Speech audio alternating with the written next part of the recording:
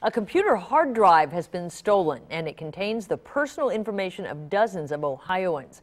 The bold thief took the drive from an office inside the Ohio Department of Job and Family Services in Columbus. Nine on your side reporter Shannon Kettler shows us what's being done to protect you and your neighbors from identity theft. Warning letters are going out to folks all across the Buckeye State who recently applied for unemployment benefits.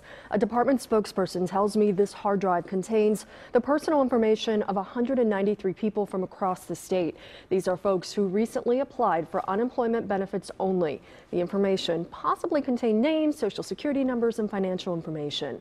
The department discovered the hard drive was stolen earlier this month.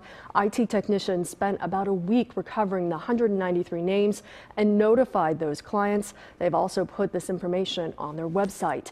As a result, the state is offering one free year of identity theft protection to help those affected. Ohioans who recently applied should also pay close attention to their bank accounts, plus monitor credit reports and sign up for fraud alerts.